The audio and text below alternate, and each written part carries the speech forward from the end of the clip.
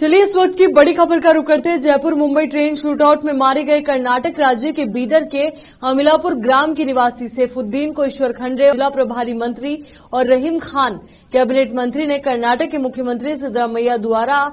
10 लाख रुपए मुआवजा देने की घोषणा की है केपी न्यूज के लिए संवाददाता असलम खान की रिपोर्ट